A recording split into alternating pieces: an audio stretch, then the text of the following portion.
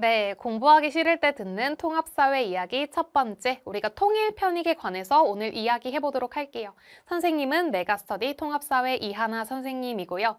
여러분, 우리가 이제 대단원, 팔단원, 통합사회 대단원, 팔단원이 바로 세계화와 평화라고 하는 단원입니다. 근데 이 세계화와 평화라고 하는 단원에서요, 우리가 앞부분에서는 이제 세계 도시나 진짜 세계화의 개념, 그리고 국제사회 행위 주체나 여러 가지 다국적 기업, 그 다음에 평화의 개념까지 우리가 배워요.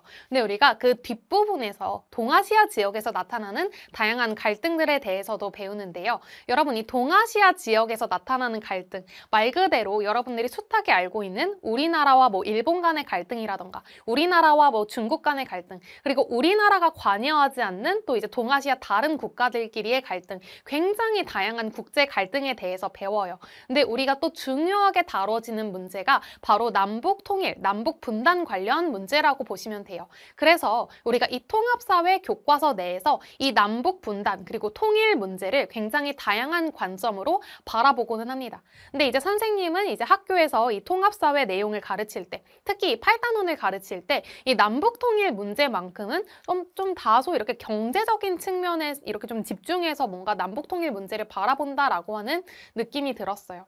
물론 뭐 우리가 이제 뭐 적극적 평화, 그 다음에 뭐 이제 소극적 평화의 관점에서 이 통일 문제를 바라보기도 하지만 이 통일 문제를 바라볼 때 여러분들이 만약에 지금 이걸 듣고 있는 여러분들이 고등학교 2학년이나 3학년이라면 여러분들 아셔야겠죠. 바로 분담 비용, 뭐 통일 비용, 그 다음에 통일 편익 이런 것들에 이제 좀 집중해서 많이 가르치고 그 다음에 그런 내용들이 좀 시험에 많이 출제가 되는 편입니다. 그래서 선생님은 이 남북 통일 문제라고 하는 것이 경제적 인 관점에서만 바라볼 것은 아니라고 생각은 하나 우리가 통합사회 교과서에서 말 그대로 이 정말 경제적인 측면에 조금 집중을 하고 있기 때문에 그렇다면 교과서에서 다루고 있는 이 통일 편익이라고 하는 것이 정말 통일 편익이라고 볼 수 있나? 이것을 좀 비관적으로 바라볼 수 있진 않을까? 이렇게 좀 다양한 관점을 좀 보여드리고자 하고요.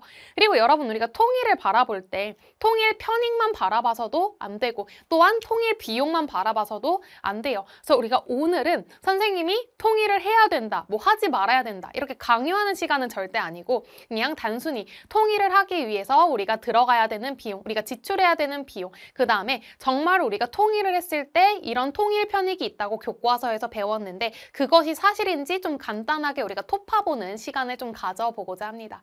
자, 그럼 우리가 좀 뒷파트로 바로 좀 넘어가 볼게요. 자, 여러분들의 기본적인 남북 통일에 대한 생각은 좀 어떠신가요? 여러분, 선생님은 이제 선생님도 이제 굉장히 아기 때였던 시절이 있었을 거 아니에요. 선생님이 이제 2000년대 초반 같은 경우에 이제 그때는 선생님이 뭐 정말 유치원 다닐 때 아니면 뭐 이제 정말 초등학교 저학년 때 이런 시기를 선생님도 보냈던 적이 있어요. 근데 여러분 우리가 20년 전만 하더라도 선생님이 굉장히 어릴 때였지만 뉴스에서 굉장히 많이 나왔던 장면, 주기적으로 나왔던 장면이 바로 이산가족 상봉 장면입니다. 요즘은 이제 굉장히 좀좀 이렇게 뜨문뜨문 나오는 것 같은데 예전에는 정말 한 20년 전에는 물론 정권의 영향일 수도 있지만 이 이산가족 상봉 장면이 굉장히 이렇게 좀 자주 이어졌던 그런 기억이 있어요. 뭔, 왜 1년에 한 번씩 선생님이 꼭 보았던 그런 기억들이 있는데 여러분 우리가 그때 20년 전만 하더라도 어떻게 보면 이 통일이라고 하는 것은 반드시 돼야 되는 것이라고 생각을 했고 그 주요 이유를 생각해 보면 선생님은 어린 마음에 아 이산가족분들이 더 이상 슬프시면 안 되니까 빨리 통일이 되어야 헤어야겠다. 그리고 이제 우리가 같은 민족인데 헤어져 있으면 안 되겠다. 이런 생각에서 어린 마음에 그렇게 통일이 빨리 되어야겠다라고 생각을 했었어. 근데 그리고 물론 지금까지도 선생님은 평화롭게 통일하는 것이 가장 좋은 방법이라고 생각을 합니다. 근데 여러분 우리가 20년이 지난 지금의 관점에서 봤을 때 선생님은 학교에서 이 부분 수업할 때 여러분들한테 물어볼 수 있잖아요. 직접 학교에서는. 그래서 여러분들한테 많이 물어보곤 했었어요. 너희들은 통일이 됐으면 좋겠니? 안 됐으면 좋겠니? 자, 그러면 여러분 학생 학생들이 어떻게 답을 많이 했을 것 같아요? 네, 통일이 안 됐으면 좋겠다고 하는 친구들의 비율이 훨씬 더 많았습니다. 그 이유를 여러분 어디에서 찾을 수 있을까요? 그렇죠. 아무래도 경제적 측면에서 찾을 수밖에 없는 거예요. 선생님은 기본적으로 이 통합사회 교과서가 이 통일 비용과 통일 편익을 비교할 때 어떻게 가르치냐면 말 그대로 통일 편익은 이제 앞으로 영구히 누리게 되는 우리의 이득이지만 통일 비용은 한시적으로 들어가는 비용이라고 배워요. 그래서 이 한시적인 통일 비용만 일시적으로 좀 감당을 하면 우리가 앞으로 이제 통일을 함으로써 얻을 수 있는 편익인 이 통일 편익을 영원히 누릴 수 있을 거라고 이렇게 가르친단 말이에요. 교과서 내에서. 근데 그것은 말 그대로 지금 이렇게 시간이 지나갈수록 사람들의 어떤 통일에 대한 선호도가 떨, 좀 떨어져 가기 때문에 그것을 통합사회 교과서 내에 담아서 이렇게 통일 편익을 강조함으로써 사람들의 통일에 대한 선호도를 좀 높이기 위함이 아닐까라고 하는 그런 생각을 해보고는 합니다. 그만큼 지금 좀 이렇게 시간이 지나면 지날수록 또 여러분 우리나라는 얻을 게 많은 나라야, 잃을 게 많은 나라야. 우리나라 선진국이잖아요. 사람들은 통일을 하게 되면 잃을 게 많을 거라고 이렇게 좀 생각하는 경향이 있어요. 그래서 사람들의 경우에는 이제 좀 많은 사람들이 통일을 오히려 반대하는 사람들의 비율이 좀 많아지고 있다라고 생각이 드는데요. 여러분들의 기본적인 생각은 어떠신가요? 선생님도 이제 어떤 부분에서는 좀 통일이 되었으면 좋겠고 어떤 부분은 좀 통일할 때 아, 이거는 좀 힘들 것 같다라고 하는 그런 생각도 있어서 선생님의 생각도 뭐 이렇게 단편적으로 이거다 저거다 정확하게 말씀드리기는 조금 어려울 것 같아요. 같아요. 그래도 우리가 기본적으로 통일이 되는 것이 좋을지 만약에 되는 것이 좋다면 그 이유는 무엇인지 그리고 반대라면 또 그 역시 이유는 무엇일지 한번 생각을 해보면서 오늘 캐스트를 좀 들어보셨으면 좋겠습니다. 자, 여러분, 우리가 이제 우리나라가 정말 마지막으로 남은 그런 분단국이라고 보시면 되는데요. 우리가 이제 좀 비교를 해볼 수가 있어요. 우리가 우리나라보다 좀 앞서서 통일을 했던 나라, 바로 1990년이 90년대 우리가 서독 중심으로 이렇게 동독이 이렇게 편입이 되면서 우리가 독일 통일이 이루어졌죠. 그래서 우리가 서독, 그 다음에 동독 통일, 을 우리가 예시로 들어서 우리나라의 통일을 통해서 우리가 좀 뭔가 볼 수 있겠는데요. 여러분 우리가 동독의 경우에는 말 그대로 동독이 약간 북한의 입장이라고 생각을 하시면 돼. 오늘 캐스트의 전제는 여러분들 이제 우리나라가 북한을 흡수 통일한다고 생각하는 것을 전제로 하고 선생님이 캐스트를 진행을 하고 있는데요. 말 그대로 동독이 서독에 흡수 통일된 그런 케이스라고 보시면 됩니다. 여러분들이 이 도, 동독과 서독의 관계를 모르겠다면 아 동독이 이렇게 좀 공산권 국가였고 있고 그 다음에 이제 북한이다. 약간 이렇게 북한을 대응해서 보시면 좋을 것 같은데 북한과 우리나라의 격차는 여러분 상당히 큰데요. 독일은 어땠는지 한번 같이 보도록 할게요. 여러분 동독의 경우에는 서독 인구의 4분의 1 정도였어요. 그러니까 좀 선생님이 구체적인 인구 수로 말씀을 드리면 우리가 서독 같은 경우 이제 말 그대로 동독을 이렇게 흡수통이란 서독의 경우에는 인구가 6천 어 6천만 정도 됐다 이렇게 보시면 될 것 같은데 우리가 동독 같은 경우에는 이제 1,600만 정도 됐다 이렇게 보시면 좋을 것 같아요. 그러니까 6,100만 그다음에 한 1,600만 이 정도였던 것 같아. 그러니까 정확하게 4대 1이었죠. 그리고 이제 서독의 1인당 소 소득의 3분의 1의 소득을 동독 이제 주민들이 가지고 있었다라고 생각을 하면 됩니다. 근데 지금의 상황은 어떨까요? 우리가 동독과 서독이 통일된 지가 어느덧 이제 1990년에 되었으니 이제 34년째가 되어가고 있는데요. 구 동독 지역의 1인당 국내 총생산 총 생산 GDP는 통일 당시인 1990년보다 4배로 늘어났대요. 그러니까 혹자는 이제 이 독일 통일이 굉장히 성공적이었다라고도 말할 수가 있는 것이죠. 근데 여전히 아직 동독과 서독 지역의 격차가 있는 거야 없는 거야? 있는 거예요. 보시면 평균 임금, 우리가 동독 지역의 평균 임금은 지금 서독에 비교해서 어떻대요? 그래서 구서독 지역의 88.8%에 머문데 10%나 넘게 차이가 난다는 것은 굉장히 유의미한 차이라는 것을 말, 말하고 있습니다.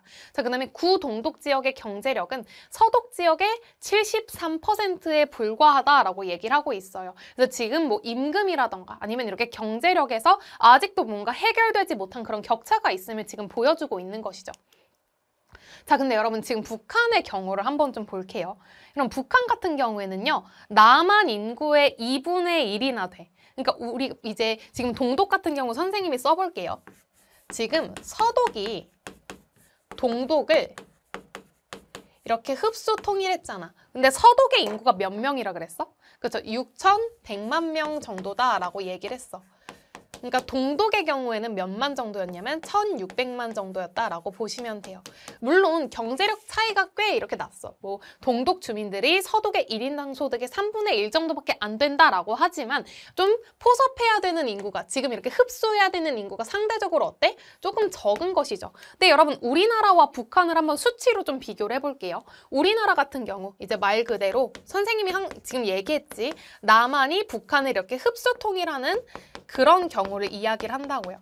만약에 이제 남한과 북한 이렇게 둘이 통일이 되는 과정에서 우리가 인구를 따져보면 여러분 남한 인구 몇만이야? 5천만 정도라고 여러분들이 좀 간단하게 생각을 해보시고 5천만 북한도 대략 생각을 해보면 한 2,500만 정도 됩니다. 그러니까 여러분 지금 우리가 북한 인구가 지금 2,500만이나 되는 거죠. 그러니까 여기는 지금 거의 한 4분의 1밖에 안 되는 인구를 이렇게 흡수한 거라면 우리는 무려 이제 5천만에서 이제 2,500만 명, 말 그대로 절반이 이렇게 늘어난다라고 생각을 하면 되는 거예요. 그래서 우리는 남한 인구의 2분의 1이 북한 인구이기 때문에 굉장히 많은 인구를 이렇게 흡수를 해야 되는데 근데 지금 상황을 보시면 어떻냐면 남한의 1인당 소득의 몇 배가 차이 나는지 선생님이 이제 GDP, 우리가 국내 총생산과 그 다음에 GNI, 국민 총소득의 이렇게 관점에서 선생님 말씀을 드리면 우리가 GDP 관점에서 봤을 때와 그 다음에 GNI 국민 총소득 관점에서 봤을 때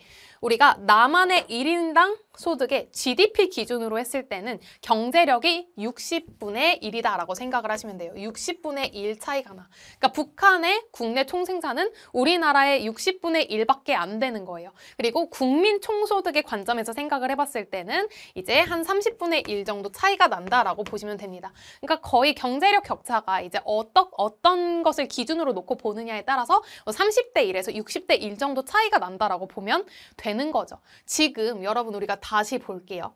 지금 서독이 동독을 이렇게 흡수통일하는 과정에서 4분의 1이 되는 인구, 경제력이 격차가 이렇게 1대 3, 이렇게 3분의 1 정도의 어떤 그런 경제력을 가진 인구를 이제 1600만만 이렇게 포섭하는데도 흡수하는데도 아직도 지금 통일 당시부터 이제 34년이 흘렀는데도 지금 해결이 안 되고 격차가 남아있어 안 남아있어? 남아있는 거잖아 그치? 근데 우리가 지금 북한 같은 경우에는 어떤 거예요?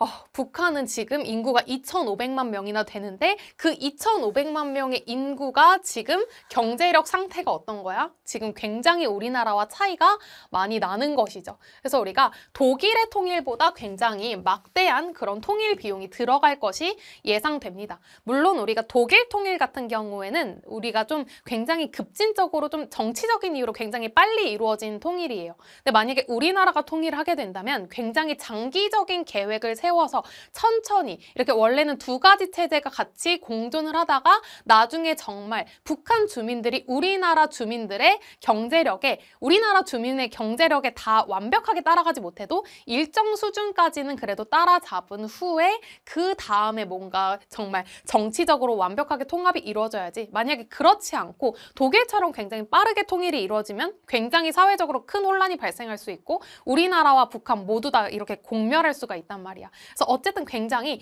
장기적으로 이루어질 것이긴 하지만 그 장기적으로 이루어지는 기간 동안에도 막대한 통일 비용이 예상이 돼요. 자, 그럼 이어서 볼게요. 자, 남한과 북한의 속 소득 격차. 그 선생님이 GNI 기준으로 좀 이렇게 얘기를 하고 있는데 남한의 1인당 국민 총소, 총소 득 우리가 2020년도 기준이 좀 최신 자료라서 가지고 왔는데 여, 연 여러분 연 기준 4,220만 원입니다.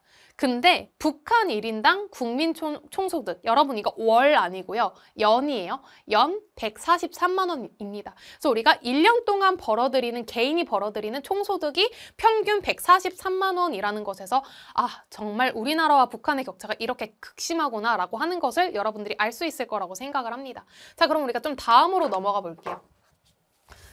자, 그래서 이 통일 문제를 다룸에 있어서 이 통합사회 교과서에서는 지금 뭔가 그런 통일에 대한 선호도가 떨어져 가고 있다는 것을 조금 인지를 하고 있는 것인지 조금 이렇게 경제적인 측면에서 접근을 많이 하는 편입니다. 같이 볼게요. 일단 우리가 지금 지출하고 있는 비용이 바로 뭐야? 그래서 분단 비용이라고 볼 수 있죠. 우리가 분단한 상태이기 때문에 지출하고 있는 비용. 같이 볼게요. 남북 분단과 갈등으로 인해서 발생하는 지출 비용. 여러분, 우리나라의 이제 세수 세수 구조에서 이제 국방비로 지출되는 비용은 굉장히 많다라고 볼 수 있어. 그 다음에 이산 가족의 고통. 근데 여러분 우리가 통합사회 만약에 배운 고2, 고3이라면 여러분들 아셔야겠지만 우리가 이산 가족의 고통이라고 하는 것은 사실 경제적으로 뭔가 비용이 지- 이렇게 지출되는 것은 아니라고 생각하는 친구들도 있어. 근데 우리가 어떻게 배웠지? 맞습니다. 이 분담 비용은 이제 남북 분단과 갈등으로 인해서 발생하는 유형, 그 다음에 무형의 지출 비용 모두를 포함하는 것이다 라고 여러분들이 보시면 돼요. 유형, 무형의 지출 비용. 그래서 우리가 이상 가족의 고통이라고 하는 것은 뭐 정말 경제적으로 돈을 지불하는 것은 아니겠으나 이것도 우리가 엄연히 분단했기 때문에 고려해야 되는 어떤 무형의 비용에 속한다라고 볼 수 있는 것이죠. 자, 그다음에 국토 이용의 제한. 그래서 우리가 국토 이용의 제한 과 관련해서 우리가 이제 통일이 됐을 때는 이 제한이 없어질 것 아니야. 크게 두 가지 측면에서 나눠서 볼 건데요. 이따가 이제 철도의 측면과 그 다음에 항공의 측면에서 이렇게 좀 보려고 합니다. 그리고 또한 우리가 국내와 그 다음에 국외의 측면에서도 볼 수 있겠죠. 여러분, 물론 이제 철도, 우리가 딱 통일이 됐을 때 뭔가 누릴 수 있는 이점 하면 여러분들이 흔히 떠올리는 것이 아시안 하이웨이. 와, 우리가 이제 정말 지금은 어떻게 보면 섬과 같은 그런 상태이지만 만약에 통일이 되면 우리도 이제 북한을 지나서 이렇게 러시아, 뭐 중국 이렇게 유럽까지 나아갈 수 있을 거야 라고 하는 그런 친구들이 이렇게 많이 있습니다. 그것도 사실이고요. 우리가 그런 면에서 어떤 관광 산업이라던가 물자 소송이 있어서 굉장히 큰 이득을 얻을 수 있는데 지금은 그걸 누리 지 못하고 있으니 국토 이용에 제한을 이렇게 좀 당하고 있으니 그것은 분담 비용이라고 볼 수 있겠죠. 근데 우리가 국내 측면에서도 여러분 우리가 철도라고 하는 것이 우리나라가 그 반도 자체로 봤을 때 그 가로 길이가 굉장히 길잖아요. 근데 그런 면이 좀 우리가 아직은 통일이 되지 않은 그런 상황이기 때문에 어느 정도 좀 한계가 있다라고 보시면 될 것 같고. 그래서 만약에 통일이 되면 이렇게 국내 측면에서도 국외 측면에서도 이 철도를 통한 어떤 뭐 수송이라던가 이런 것이 용이해질 수 있는데 지금 그러지 못하고 있는 상황인 거죠. 자, 그 다음에 우리가 항공 측면도 여러분은 같이 보시면 우리가 이 항공 측면에서는 어떻게 볼 수 있을 것 같아?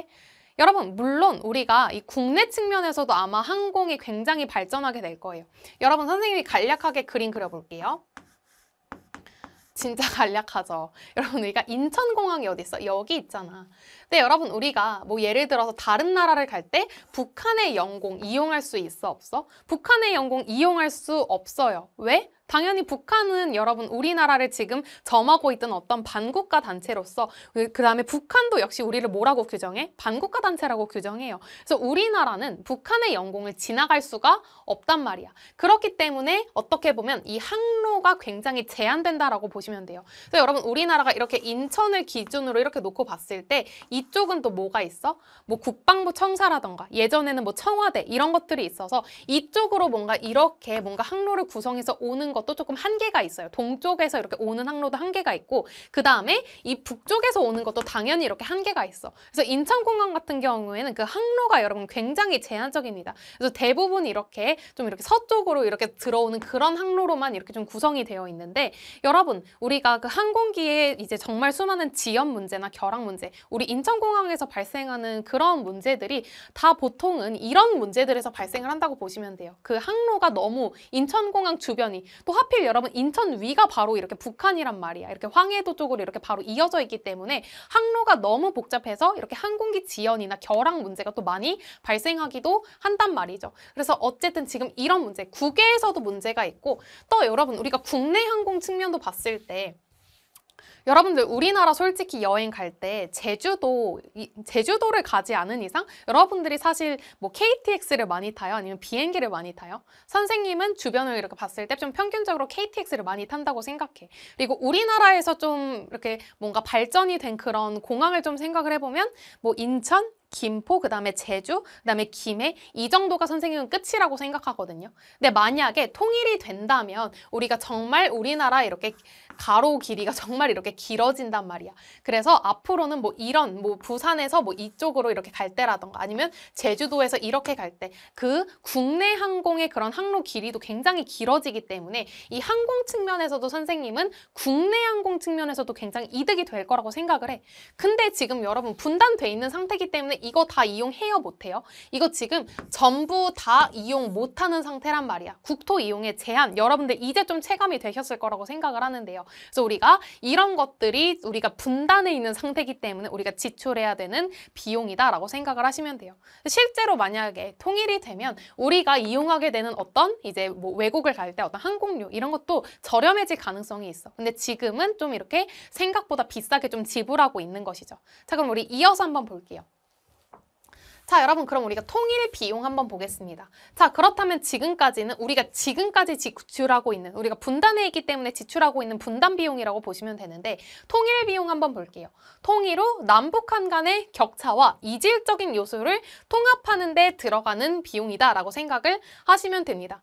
여러분 물론 통일을 했다고 해서 북한 주민들을 우리나라 주민들의 그런 평균적인 경제력 수준까지 끌어오기는 굉장히 아마 힘들 거예요. 그래서 어느 정도 우리 우리나라 이제 이제 남한 주민의 일정 수준까지라도 그 북한 주민의 경제력을 끌어오는 데 들어가는 그런 비용들이라고 생각을 하시면 될 것 같습니다. 화폐 통합 비용. 지금 우리나라와 북한의 화폐 체계가 굉장히 다르기 때문에 이런 화폐를 통합하는 비용도 굉장히 많이 들어갈 것이고 그 다음에 사회 기반 시설 구축 비용. 여러분 선생님이 단편적인 예시 하나만 좀 들려드리면요. 우리나라는 철도가 굉장히 이렇게 좀 발달한 나라잖아. 근데 북한 같은 경우에는 이제 여러분 깜짝 놀라 놀라시면 안 돼요. 한국 전쟁 때 만들어졌던 기차가 아직도 이렇게 좀 달리고 있는 경우가 있습니다. 그래서 70년이 되도록 그것을 계속 사용하고 있는 것이죠. 그래서 이렇게 굉장히 좀 사회 기반 시설이 좀 노후화됐다라고 보시면 되기 때문에 우리가 통일이 되면 우리나라 주도에 남한 주도에 이렇게 북한 흡수 통일이 이루어지면 우리가 이런 사회 간접기 이제 자본 시설 이런 것들 다 우리가 새로 이제 건설하고 그래야겠죠.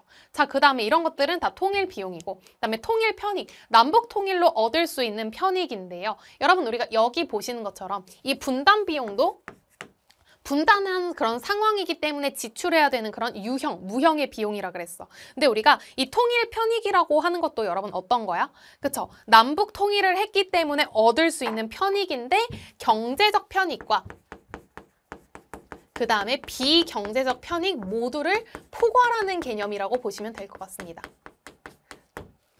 내수 시장 확대. 여러분 우리가 앞선 페이지에서 이제 북한의 인구와 우리나라 인구 이렇게 살펴봤잖아요. 말 그대로 5천만 내수에서 이제 7,500만으로 인구가 확장되기 때문에 내수 시장이 확대된다라고 볼 수 있는 것이죠.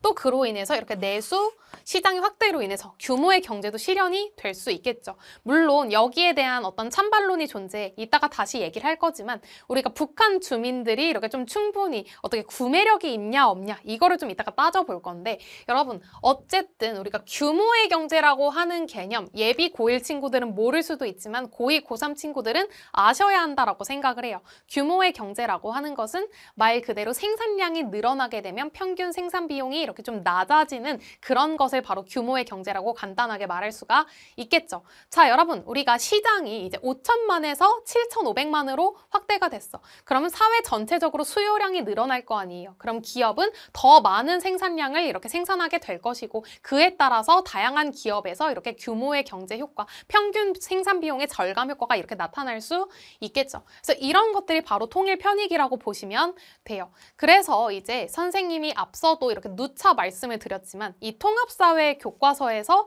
유독 이렇게 통일 문제를 바라볼 때 경제적인 측면에 좀 많이 focusing이 되어 있다라고 보시면 됩니다. 어떻게 가르치냐면 통일 비용은 여러분 어떻게 배웠어? 한시적이라고 배웠어? 영구적이라고 배웠어? 그래서 통일 비용은 한시적으로 들어가는 비용이라고 배워요. 여러분 한시적이라는 말 일시적이라는 뜻이죠. 일시적으로 들어가는 비용이다. 일정 기간만 통일 비용을 이렇게 내면 이 통일 편익은 영구히 누릴 수 있는 영구적 그런 편익이라는 거야. 그래서 이 통일 비용은 잠깐 이렇게 일시적으로 몇십 년만 내면 돼. 몇십 년이 일시적인지는 모르겠어. 몇십 년만 내면 돼. 그러면 이제 영원히 통일 편익을 누릴 수 있어. 근데 이것도 사실 아예 틀린 말은 아니에요. 아예 틀린 말은 아니고 실제로 여러분 독일 같은 경우에도 이 통일 이후에 이렇게 경제력이 굉장히 많이 평균적으로 상승했다라고 보시면 돼요. 물론 격차는 좀 어느 정도 존재하지만 그래서 이런 면을 좀 이렇게 굉장히 강조를 하면서 통일에 대한 선호도를 좀 높이고자 하는 그런 의도가 있는 것 같아요. 근데 물론 여러분 우리가 경제적인 측면에서 이득이 될 수는 있다. 근데 그것이 통일에 대한 어떤 개인적인 선호도에 영향을 끼치는지는 선생님은 잘 아직 모르겠는 것 같아요. 학생들을 봤을 때도 아무리 통일 편익을 나중에 얻을 수 있다라고 하더라도 일단 우리 세대가 그 희생을 감내해야 되기 때문에 학생들의 어떤 개인적인 선호도, 통일에 대한 선호도가 조금 떨어지 지 않나라고 하는 생각이 조금 들기는 합니다. 선생님이 생각한 그런 이유고요. 자, 그럼 우리가 지우고 한번 좀 다음 파트로 넘어가 볼게요. 그래서 어쨌든 우리가 통일이 되면 무슨 비용을 감내하긴 해야 되는 거야? 통일을 하게 되면 우리 세대, 선생님과 여러분 세대가 이렇게 주로 감내해야 되는 부담은 바로 통일 비용이라고 보시면 되겠습니다. 근데 학생들이 무조건 이렇게 통일에 반대하는 이유, 선생님 꼭 물어봐요. 통일에 반대하는 사람 손 이렇게 들어보면 이제 좀 많은 애들이 손을 들어요. 그럼 너는 왜 반대하니? 라고 보통 물어보면 아, 통일을 하기 위해서는 정말 우리가 세금을 너무 많이 내야 되고 라고 하면서 학생들이 보통 통일 비용에 측면에만 좀 집중을 해. 근데 선생님이 좀 분명히 말씀을 드릴 것은 만약에 통일 문제를 경제적 관점에서 접근을 하고자 한다면 우리가 통일 비용도 고려해야지만 반드시 뭐도 고려해야 된다고 선생님이 말했어. 그렇죠? 통일 비용도 고려해야 되지만 통일 편익도 고려를 해야 된다라고 선생님은 꼭 말씀을 드리고 싶어요. 그래서 이 두 가지를 종합적으로 고려해야지 아, 우리가 경제적 측면에서 좀 통일이 이렇게 우리에게 좋은 것인가 혹은 경제적으로 우리에게 좀 이렇게 장기적으로 악영향을 가져올 것인가 이런 것을 판단하려면 적어도 이 두 개를 같이 고려하기는 해야 된다라고 말씀을 드리고 싶어요. 자, 이어서 한번 볼게요. 자, 그렇다면 이 통일 편익에는 구체적으로 어떤 것이 있는지 좀 선생님이 카테고리를 좀 만들어 왔습니다. 자, 1번 볼게요. 건설 경 경기의 호황. 여러분, 우리가 지금 선생님이 앞서 기차 얘기했던 거 기억나요? 북한에는 한국전쟁, 막 1950년대 때 만들어졌던 기차가 다니는 곳들이 있다고. 여러분, 그렇기 때문에 북한은 정말 사회 인프라 시설, 그런 사회 간접 자본 시설, 이런 것들이 정말 노후화되어 있어. 그래서 만약에 통일이 되잖아요? 그러면 이제 그런 곳들을 이제 굉장히 우리가 좀 새롭게 투자를 해야겠지. 그 과정에서 당연히 건설 경기의 호황이 이렇게 이루어질 것이고, 그 다음에 또 이렇게 발달하게 되는 산업이 제조업. 그래서 이 건설 경기랑 제조업 같은 경우에는 통일을 하게 되면 아 이제 좀 호황을 이렇게 좀 불러일으킬 수 있는 그런 산업들이 될 것이다 라고 여러분들이 생각을 하시면 하시면 됩니다. 그래서 우리가 이 제조업 같은 경우에는 특히 이제 여러분 북한의 인건비 아까 여러분 북한 1인당 국민 총소득 봤죠? 우리가 그런 1인당 국민 총소득을 좀 말미암아서 좀 보았을 때 아, 북한의 인건비가 굉장히 저렴하겠구나라고 하는 것을 알 수가 있어요. 그렇죠? 그래서 북한의 그런 저렴한 노동력과 우리나라는 여러분 충분한 그런 기술력이 있고 자본이 있고 시스템이 있잖아. 그런 것들을 결합을 하게 되면 제조업이 굉장히 폭발적으로 발달할 수도 있다라는 것이죠. 자, 그다음에 세 번째, 교통의 발달. 아까 선생님이 세 가지 측면에서 말씀을 드렸는데요. 우리가 이제 국내 항공, 그 다음에 국외 항공 이렇게 국내와 국외로 나눌 수 있는데 철도, 우리가 육로 교통이죠. 어떻게 보면 육로 교통이라고 볼 수 있고 그다음에 이제 항공 측면에서도 이 네 가지 측면에서 모두 다 발달을 할 수 있는 거야. 그래서 굉장히 교통에 있어서는 분명히 통일을 하는 것이 이득이다라고 볼 수 있을 것 같아요. 그러면 이제 각각의 그런 발달들이 정말 우리에게 어떤 이윤을 가져다 주는지 이것도 우리가 좀 살펴볼 것이고 그다음에 인구 관련 문제 해결. 여러분 우리나라 이제 출생률이 이제 꼴찌를 찍었어요. 물론 사실 더 꼴찌인 이제 곳이 있긴 해요. 홍콩이랑 마카오가 우리나라가 0.78이고 가장 최신 수치 기준으로 홍콩이랑 마카오는 0.68이에요.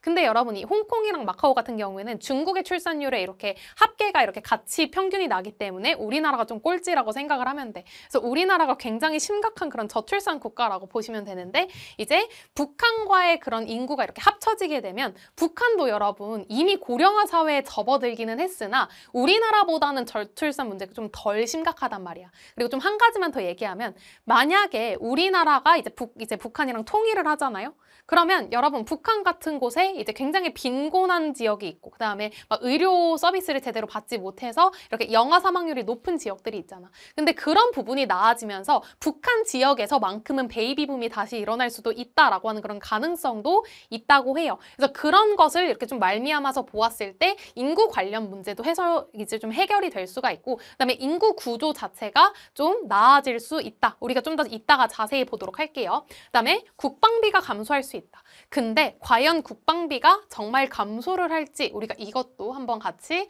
알아보도록 할게요. 자, 그러면 우리가 첫 번째 건설 경기 호황부터 한번 같이 보도록 하겠습니다. 네, 그럼 우리 첫 번째 통일 편익 바로 우리가 건설 경기 측면부터 한번 좀 보도록 할게요.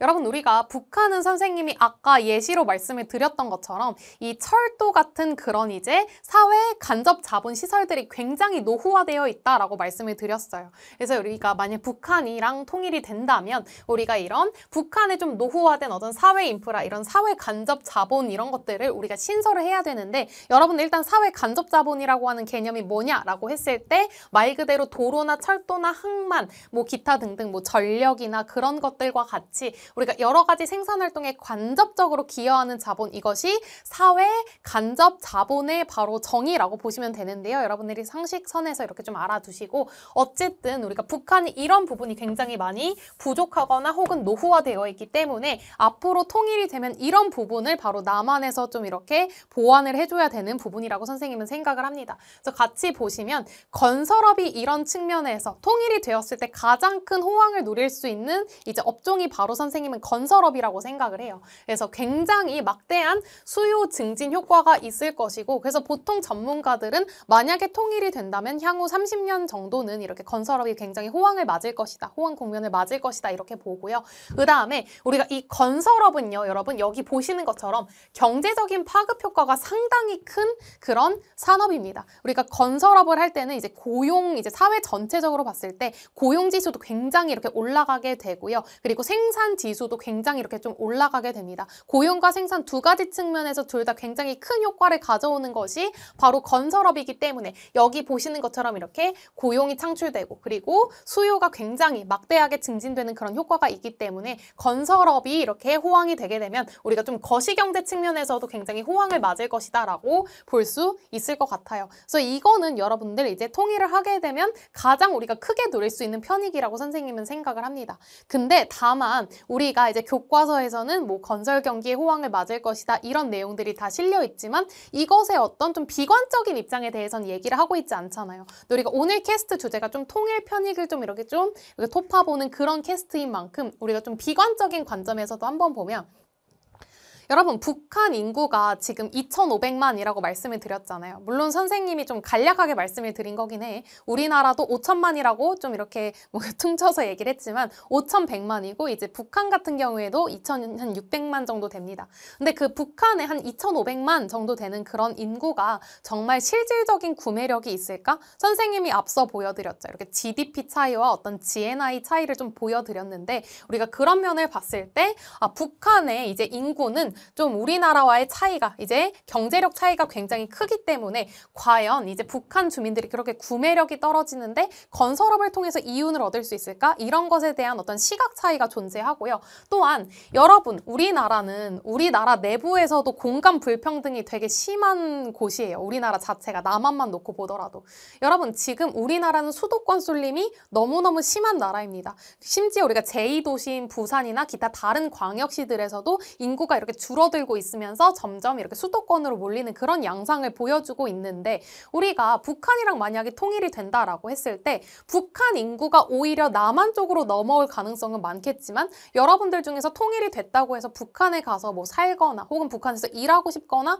그런 친구들이 선생님 많지는 않을 거라고 생각을 하거든요. 그런 면에서 북한 지역으로 이주하고자 하는 수요가 충분히 있을까? 이것도 조금 고려해야 봐야 되는 부분이 아닐까라고 선생님은 여기 좀 생각을 합니다. 그래도 어쨌든 이 건설업 측면에서 굉장히 큰 이렇게 호황을 누릴 거라는 거는 분명한 어떤 사실로 보입니다. 통일이 되면은요.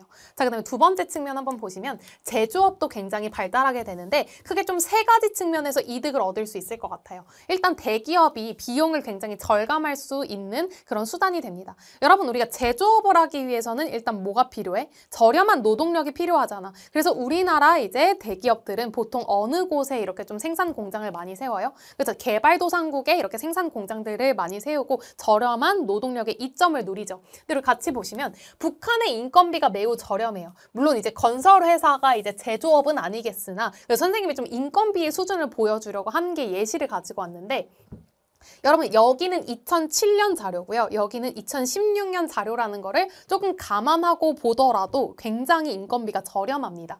자, 현지 건설회사가 북한 근로자에게 지급하는 인건비가 1인당 매월 미화 200에서 300달러래. 이제 간단히 물론 이제 환율이 굉장히 좀 이렇게 오른 상황이지만 정말 간단하게 생각해 보면 한 20만 원 후반대에서 한 뭐 많게는 40만 원 이 정도로 우리가 잡을 수가 있겠죠. 근데 이건 또 2007년도 기준이기 때문에 그때 환율을 반영하면 좀 이렇게 다를 수는 있겠지만 어쨌든 우리나라 생각했을 때 이것도 되게 저렴한데 밑에 구조를 볼까요? 회사가 보험료 숙식비를 이렇게 가져가고 이제 제외하고 근로자에게 실질적으로 주는 게 월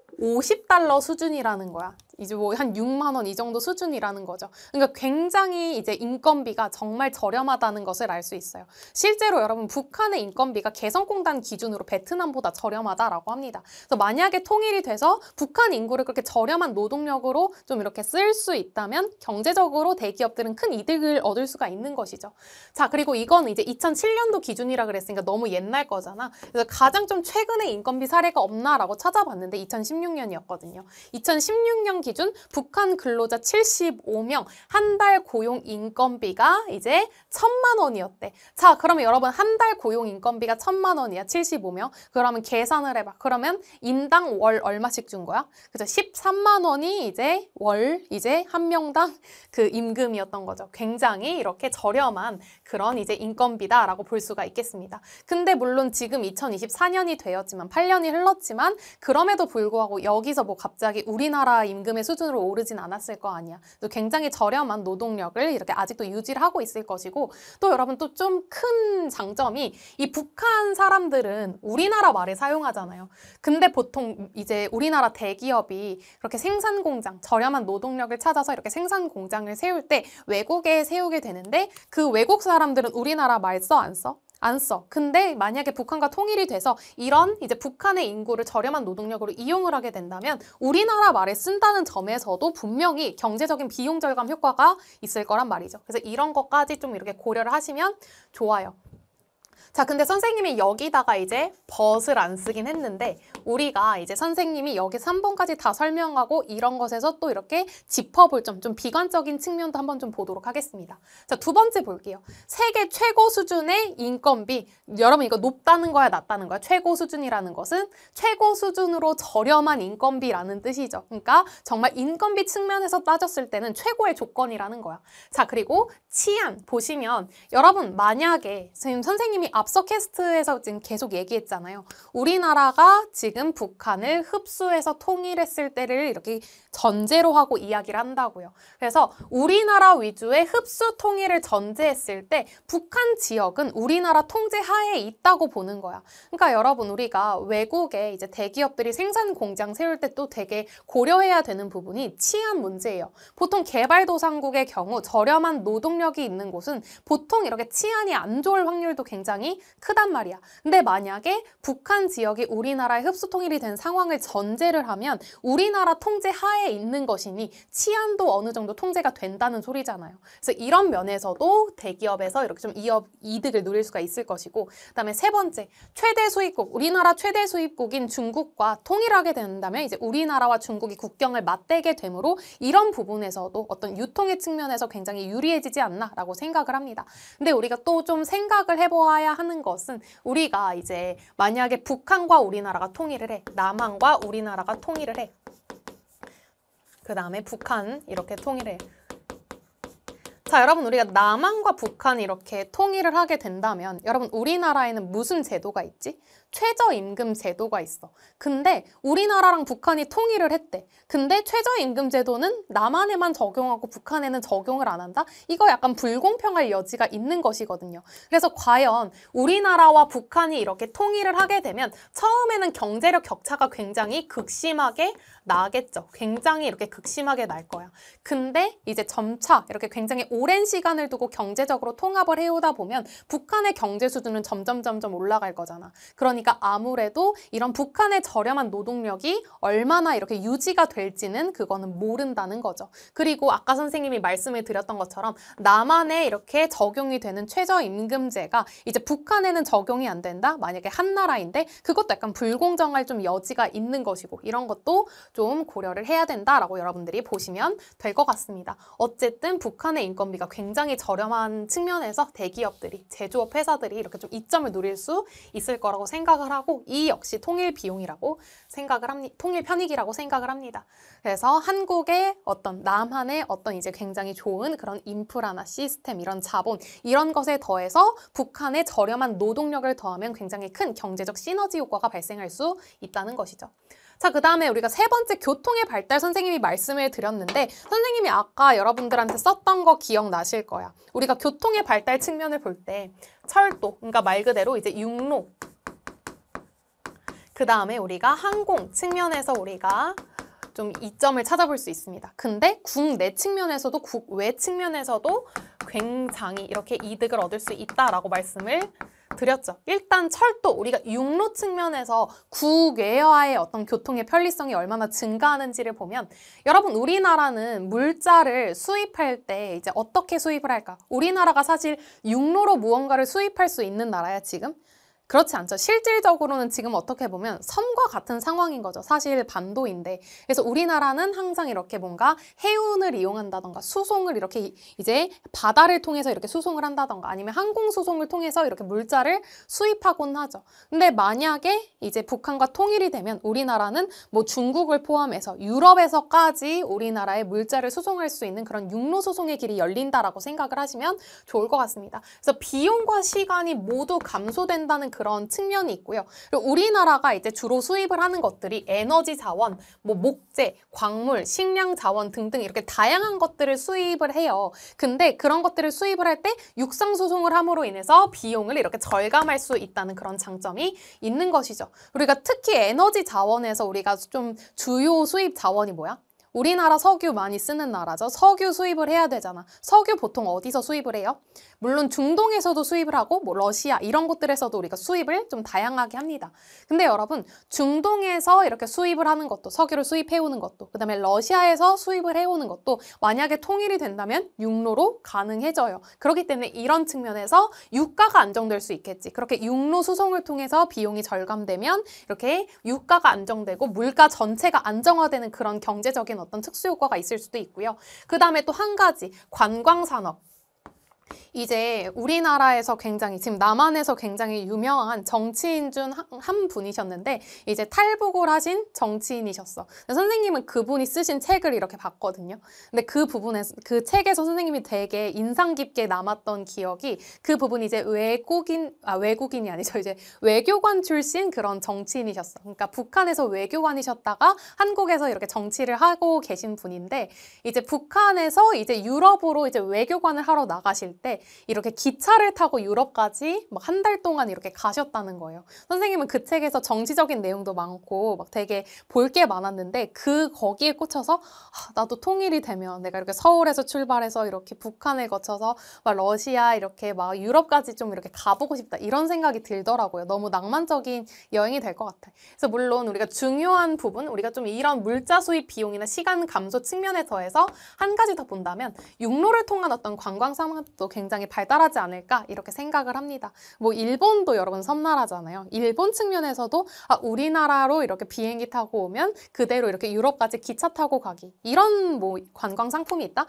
되게 인기가 있을 것 같아. 그치? 자, 그 다음에 우리가 국내 철도, 국내 육로 측면에서도 한번 보시면 이제 국제 운송 수단의 종점지가 될 거예요. 그러니까 이제 유럽에서 이렇게 중국, 러시아 이렇게 통해서 우리나라로 들어오게 되면 우리나라가 이제 육로 수단의 어떤 종 정점지가 되는 거야. 그래서 이렇게 동남아시아로 이렇게 수출이 또 될 수도 있는 그런 굉장히 중요한 거점이 될 거라고 생각을 합니다.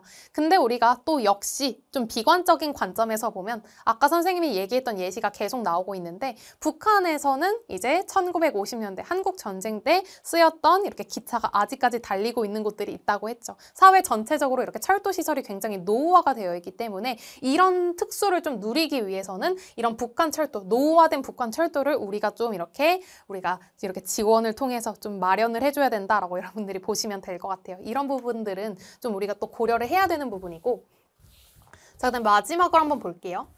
아, 마지막은 아니고 우리가 이제 항공 한번 볼게요. 항공. 여러분 선생님이 말씀드렸던 것처럼 우리나라가 북한 영공 지나갈 수 있다 했어 없다 했어?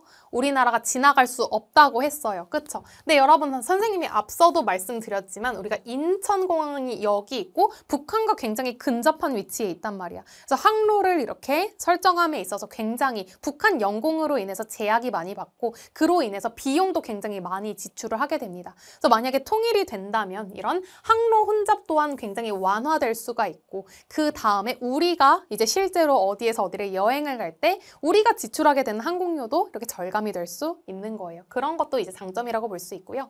그 다음에 선생님이 이것도 앞서 좀 이렇게 미리 다 스포를 해버렸는데 우리나라가 이렇게 남북 길이를 이렇게 좀 따져봤을 때 1000km 정도 됩니다. 1000km. 그러니까 지금 이렇게 이렇게 우리가 남북이 이렇게 분단되어 있는 상황에서는 좀 항공, 국내 항공이 충분히 발달하지 못했어. 앞서 말씀드렸던 것처럼 우리나라에서 충분히 뭔가 좀 이렇게 수요가 있는 공항이라고 한다면 뭐 제주, 인천, 김포, 김해 이 네 개 정도가 끝일 거라고 선생님이 말씀을 드렸잖아요. 근데 만약에 이렇게 분단이 이렇게 끝나고 이렇게 통일이 된다면 이렇게 정말 남북 길이가 이렇게 1000km에 달하게 되면서 국내 항공도 철도의 버금가게 굉장히 발달하게 되겠죠. 자, 그 다음에 화물기를 이용한 운송업 또한 이제 굉장히 또 발달할 수 있다라고 여러분들이 보시면 될 것 같습니다. 자, 그 다음에 또 볼게요. 네 번째는 인구 증가인데 이것도 굉장히 좀 긍정적으로 보는 그런 관점이 있다면 아, 인구가 정말 구조가 개선이 될까라고 하는 비관적인 그런 관점도 있어요. 일단 좀, 좀 낙관적인 그런 관점부터 우리가 한번 볼게요. 남한이 뭐 5천만, 이제 정확히는 5,100만 정도지만 5천만이라고 좀 퉁치고 그다음에 북한이 2,600만 정도지만 2,500만이라고 퉁쳐. 그럼 이제 한 7,500만 정도의 그런 인구가 나오게 됩니다. 자, 그러면 여러분 이렇게 되면 우리가 뭐 프랑스나 영국이나 이탈리아 이런 나라들보다 인구가 많아지게 돼요. 그러니까 내수 시장이 굉장히 이렇게 크게 확대가 되는 것이죠. 그래서 내수 시장을 확보를 할 수가 있고 또 우리나라의 경제 구조는 수출 중심 경제 구조인데 여기서 조금 이렇게 탈피할 수 있는 어떤 계기가 될 수 있다는 거죠. 자, 그리고 여러분 대한민국 인구 구조가 개선이 될 수 있는데 만약에 이 영상을 보시는 고등학교 2학년, 3학년 친구들이 있다면 인구 구조 여러분 어떤 거 있었는지 한번 떠올려 보세요. 자, 그쵸. 우리가 세 개가 있었습니다. 일단 선생님 물론 다섯 개 있지만 오늘 여기서 캐스트에서 불필요한 두 개는 빼고 세 개만 좀 말씀을 드릴게요. 자, 여러분 이거 무슨 형이야? 피라미드형이고요. 피라미드형. 그리고 이게 뭐였어? 종형입니다. 종형.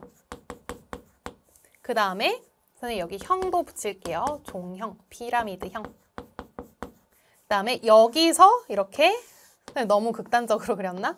여기서 이렇게 저 이제 가장 나이가 어린 이제 애들이 출생아 수가 급격히 적어지면 나타나는 것이 바로 방추형이다 라고 말씀을 드렸는데요.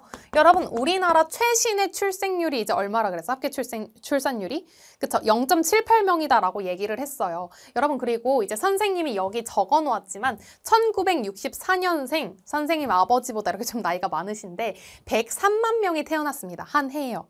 근데 우리가 2023년생 같은 경우에는 지금 물론 12월이 빠져 있긴 해. 그래서 지금 21만 명인데 뭐 여기다가 한 2만 명 정도 더하면 23만 명 정도라고 이렇게 쳤을 때 여러분 우리가 103만 명 그리고 23만 명 지금 거의 몇 배 차이가 나?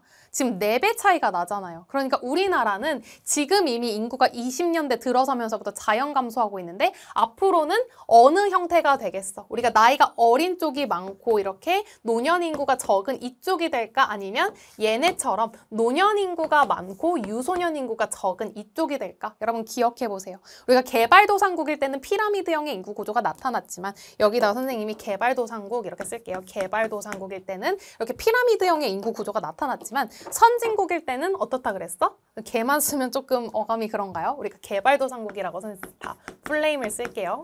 개발도상국.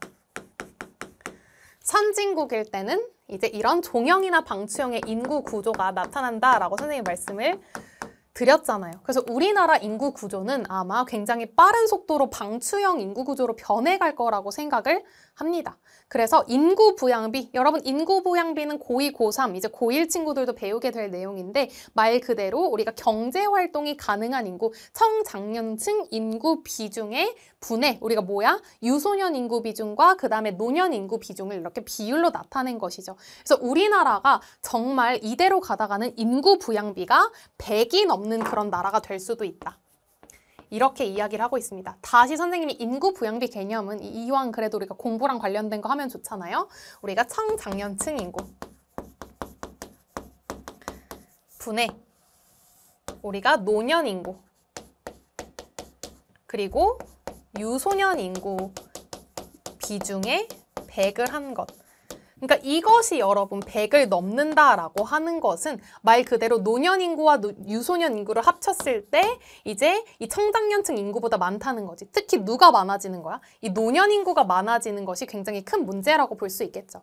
근데 만약에 북한과 이렇게 통일을 하게 되면 여러분 북한은 우리나라보다는 이렇게 좀 출산율 문제가 그렇게 심각하지는 않아요. 물론 이제 북한도 저출산 문제가 나타나긴 해. 근데 우리나라만큼 심각하진 않다는 거죠. 약간 상대적인 개념. 1. 2.79명 정도라고 생각을 하시면 됩니다. 물론 이제 2.1명이라고 하는 그런 이제 합계 출산율에 다다르지는 못했으나 우리가 1.79라고 하는 우리보다는 좀 나은 수치를 보여주고 있습니다. 그래서 우리나라와 북한의 인구 구조를 합치면 좀 이렇게 나아질 수도 있다는 거죠. 그리고 또 한 가지 더 이야기를 하면 선생님이 앞서도 말씀을 드렸지만 북한 같은 경우에는 지금 뭐 의료 문제라던가 빈곤 문제 이런 것들이 너무너무 심각하잖아.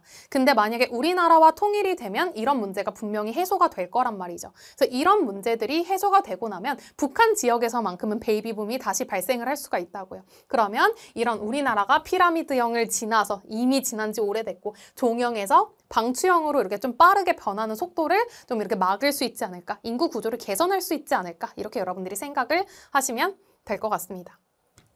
근데 다만 또 우리가 고려해야 되는 것들이 있어요. 우리가 좀 비관적인 관점에서 다시 볼게요.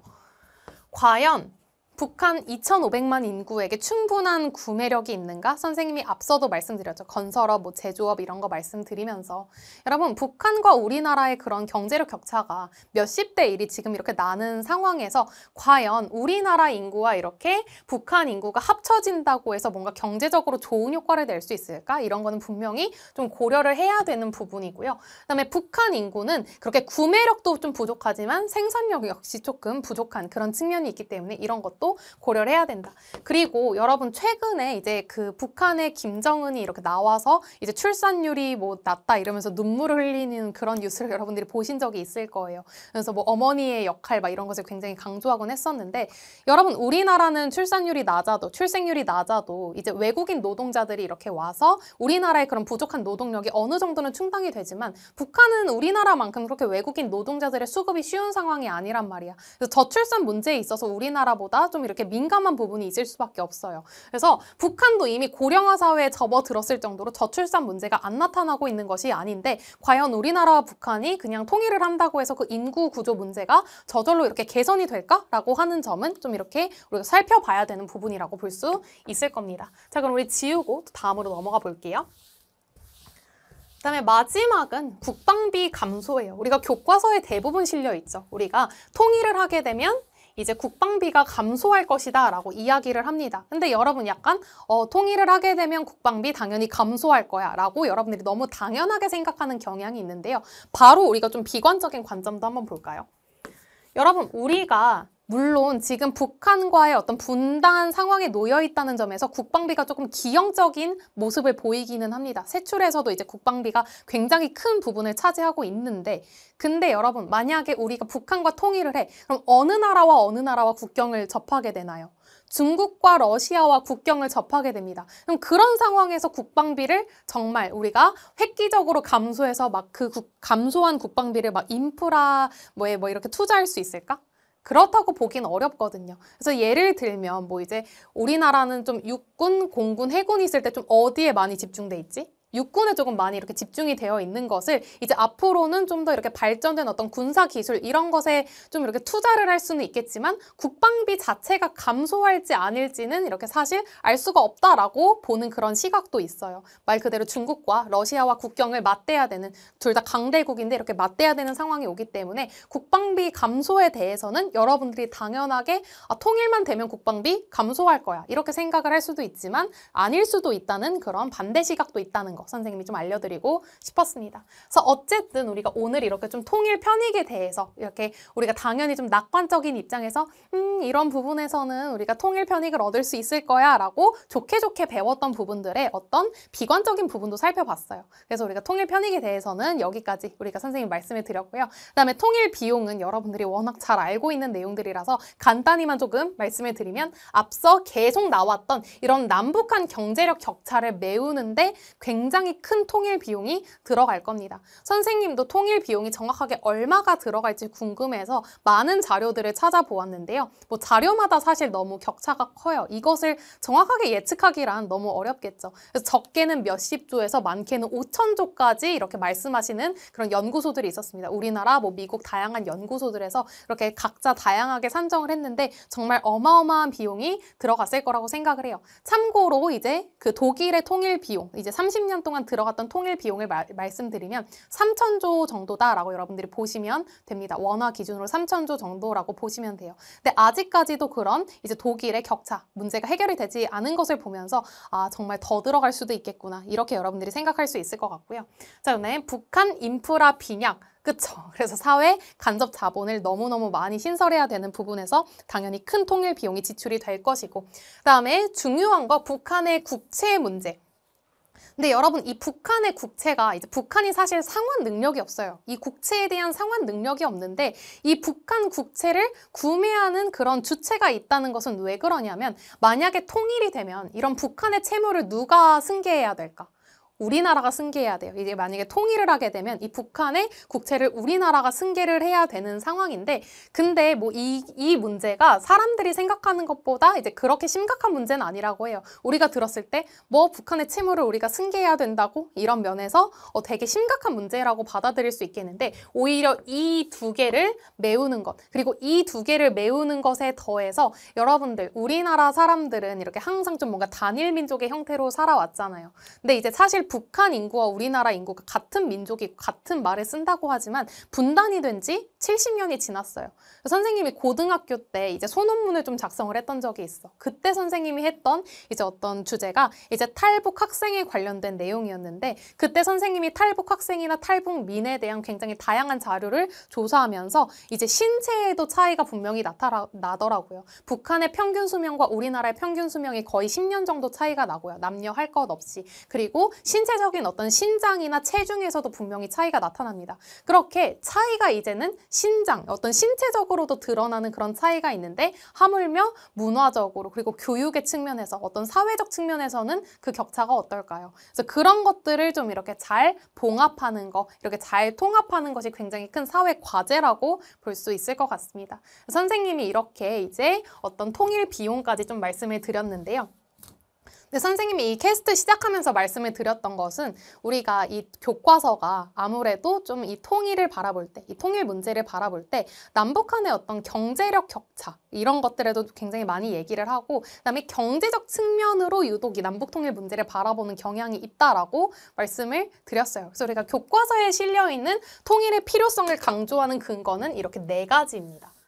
그래서 우리가 지금까지 본 거는 민족의 경제적 발전과 번영, 그 다음에 생활 공간의 확장 이 측면은 우리가 충분히 봤어. 그래서 남북 통일 문제를 경제적 측면에서 바라보는 그런 이제 내용들은 충분히 했기 때문에 여러분 우리는 이제 좀 선생님은 여러분들이 이 남북 통일 문제를 바라볼 때 아, 통일 비용과 어떤 통일 편익의 그런 차액을 계산을 하면서 아, 통일 편익이기 때문에 토, 난 통일에 찬성해. 혹은 아, 통일 비용이 더 클 것 같기 때문에 난 통일에 반대해. 이런 시각은 조금 약간 지양을 했으 면 있었으면 좋겠고 선생님은 여러분들이 통일 문제를 바라볼 때 평화 개념에 조금 입각을 해서 바라볼 수 있었으면 좋겠습니다. 그래서 우리가 평화 개념이라고 하는 거 우리가 8단원에 역시 실려 있는 그런 내용인데요. 여러분 우리가 이 폭력의 삼각형이라고 하는 개념을 우리가 8단원에서 배우게 됩니다. 그래서 폭력은 말 그대로 세 가지 폭력으로 이루어져 있다는 이거예요. 그래서 우리가 직접적인 폭력이 있고요. 직접적인 폭력. 그 다음에 구조적 폭력이 있고 문화적 폭력이 있다라고 우리가 배우게 됩니다.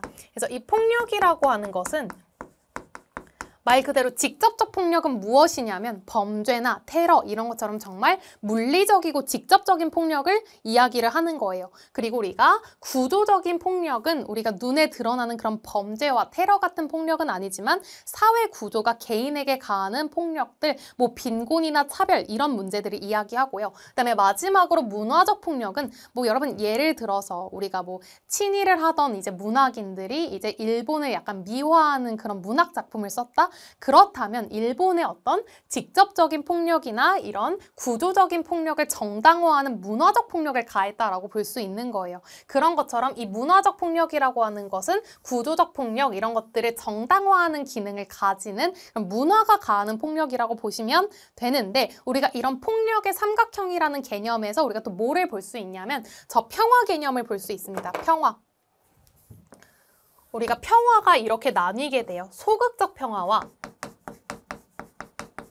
그 다음에 적극적 평화로 나뉘게 됩니다. 소극적 평화와 적극적 평화로 나뉘게 됩니다. 이 소극적 평화라고 하는 것은 말 그대로 이 폭력, 직접, 구조, 문화적 폭력 중에서 어, 직접적 폭력만 없으면, 직접적 폭력만 없으면 그것이 바로 평화로운 상태야 라고 보는 관점이 소극적 평화인데 우리가 직, 적극적 평화의 관점에서는 아니야 직접적 폭력이 없는 상태라고 하더라도 이런 구조적 폭력이나 문화적 폭력이 이렇게 잔재하고 있으면 이렇게 언제든지 이 각을 따라서 다른 폭력으로 이렇게 흐를 수가 있어 라고 보는 그런 시각입니다. 그래서 이렇게 직접적 폭력도 없어야 된다. 그리고 이런 눈에 보이는 물리적인 직접적인 폭력뿐만 아니라 구조적인 폭력, 그 다음에 문화적인 폭력. 이 모두가 없어야 진정한 평화다라고 보는 것이 바로 적극적 평화의 관점입니다. 그래서 선생님이 수업 때는 말씀을 드렸지만 이렇게 적극적 평화가 바로 진정한 평화다 이렇게 말씀을 드렸어요. 그래서 여러분 우리가 북한에서 발생하고 있는 여러 가지 폭력들 뭐가 있죠? 그래서 북한은 여러분 인권 문제가 굉장히 이렇게 심각합니다. 그래서 북한 내부에서는 정말 이렇게 다양한 이렇게 세 가지 폭력들이 실제로 벌어지고 있다라고 보시면 되는데 선생님은 통일의 가장 큰 이유는 어떤 경제적인 그런 이유라기보다 보다는 북한의 인권 문제를 항상 좀 중심적으로 떠올리게 돼요. 여러분 북한은 헌법상으로 이제 우리나라 영토입니다. 북한이 이제 우리나라를 이렇게 이제 반국가 단체로서 우리나라 영토를 점령하고 있는 그런 반국가 단체다. 이렇게 생각을 하시면 되고 북한 주민도 헌법상으로 우리나라 국민입니다. 우리나라 국민이 그렇게 반국가 단체에 의해서 이렇게 인권 탄압을 당하고 있는데 그런 면에 있어서 우리나라 국민이 당연히 관심을 가져야겠죠. 선생님은 통일 문제를 바라볼 때 어떤 편익이나 그런 것을 생각하기보다는 비용을 생각하기보다는 선생님 그런 측면에 집중해서 생각을 하는 편이에요. 여러분들 살면서 되게 여러분들 고민 많은 시기라는 것을 선생님은 여러분들 곁에서 오랫동안 이제 시간을 보냈던 선생님이었기 때문에 잘 알고 있습니다. 근데 여러분들을 안타까운 시선으로 보다가도 가끔 이렇게 생각을 해요. 아, 성적이 떨어지고 정말 내가 대학을 조금 이렇게 한 급 이렇게 대학이 떨어지나 마느냐 이런 고민을 하는 거 물론 우리 삶에서 큰 고민이에요. 정말 큰 고민인데 우리가 정말 만약에 내가 북한에서 태어났다라고 생각을 해본다면 내가 당장 먹고 살 수 있는 그런 이제 상황이 되느냐 내가 이런 빈곤의 상황에 놓일 수도 있고 굉장한 차별의 상황에 놓일 수도 있는 그런 상황 그리고 생명이 위태로울 수도 있는 그런 상황에 놓인 사람들이 이렇게 굉장히 많이 존재를 합니다. 그런 면에 있어서 우리가 하고 있는 고민들이 혹시 행복한 고민은 아닌가 이렇게 좀 생각해보는 그런 시각도 선생님은 필요하다고 생각을 해요. 그래서 이 통일 문제를 바라봄에 있어서 여러분들이 북한 주민의 인권 문제를 좀 이렇게 집중적으로 바라보셨으면 좋겠습니다. 통합사회 교과서에는 이제 북한 주민의 인권 문제를 뭔가 예시로 다뤘던 이제 교과서가 있고, 근데 남북 통일 문제는 유독 그렇게 경제적 측면에서 바라봐요. 여러분들이 설득하고 싶었나 봐. 경제적인 측면에서 보더라도 이 통일은 이렇게 좀 이루어져야 돼라고 설득을 하고 싶었던 것 같은데, 여러분들이 통일 문제를 바라볼 때 좀 이렇게 평화의 관점에서 북한과 우리나라 이제 이 한반도 전체에 모두 적극적 평화가 실현되는 것을 목표로 여러분들이 통일을 원하는 마음을 그렇게 가질 수 있었으면 좋겠습니다. 그래서 이후 통일이 이루어지는 방향, 우리가 통일은 이제 굉장히 다양한 방법으로 이루어질 수 있는데 우리가 이것에 대해서는 나중에 또 또 다른 캐스트로 찾아와서 선생님이 남북 통일이 이루어질 수 있는 다양한 방향성에 대해서 또 말씀을 드리는 시간을 가져보도록 할게요. 네, 여러분 그래서 오늘 이제 수업은 이제 선생님 수업처럼 이렇게 너무 길게 해버려서 캐스트인데 오늘 캐스트는 여러분 여기까지고요. 선생님이 오늘 통일 편익이라는 주제로 이렇게 캐스트를 여러분들한테 제공을 해드렸는데 우리가 단순히 통일 편익, 아 당연히 통일하게 되면 이런 것들은 우리에게 편익으로 다가올 거야 라고 생각했던 것을 이제 좀 이렇게 비, 비관적으로 좀 비틀어서 바라봄으로써 아 이게 과연 정말 편익이 될까? 이런 면은 좀 고려를 해야겠네 라고 여러분들이 생각하는 계기가 되었을 거라고 생각을 하고 마지막으로 중요한 거 통일 문제를 좀 북한 주민의 인권 중심으로 생각해보는 시간도 되었으면 좋겠다는 거 선생님이 이렇게 말씀을 드리면서 캐스트를 마무리하겠습니다. 네, 그러면 선생님이 다음번에는 법과 관련된 캐스트로 또 찾아오도록 할게요. 그러면 여러분들 이제 공부하기 싫었, 싫었을 때 이렇게 듣는 통합사회 이야기 이거 끄시고 이제 공부 열심히 하시기 바랍니다. 우리 다음 캐스트에서 보도록 할게요.